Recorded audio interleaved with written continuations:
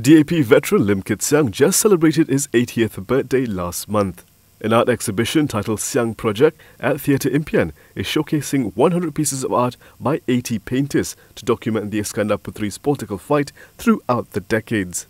The exhibition is set to launch this Sunday on March 28th and will be open to the public on March 31st on every Tuesday to Saturday from 11am to 5pm. Theatre Impian is actually set up by supporters who wanted to honor uh, Kit uh, his struggle, sacrifice, and successes over his 55 years of political career.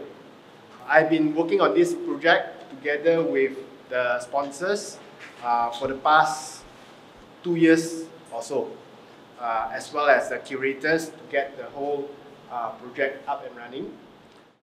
One of the highlights of the exhibition is a painting by Tony himself titled Langkah Sheraton, which records his perspective on the infamous move that led to the collapse of the Pakatan Harapan government. The painting features 15 politicians, each with very interesting facial expressions and symbols. On the right of the painting are Najib Abdul Razak, Zahid Hamidi, and Wee Ka Siong. In front of them is a treasure box with a written message.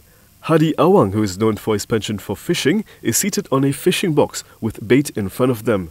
Next to Hadi is Hishammuddin, who is holding a brochure of Morocco in one hand and a phone in another. The only other person who is also on the phone in the painting is Azmin Ali, on the left of the painting, who is holding a key on his left hand.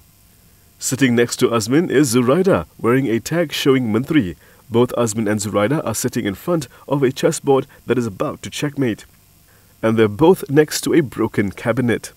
Other politicians featured in the painting are Shafie Apdal, Muhyiddin Yassin, Mahathir Mohamad, Lim Guan Eng, Mat Sabu Anwar Ibrahim, and Lim Kit Siang.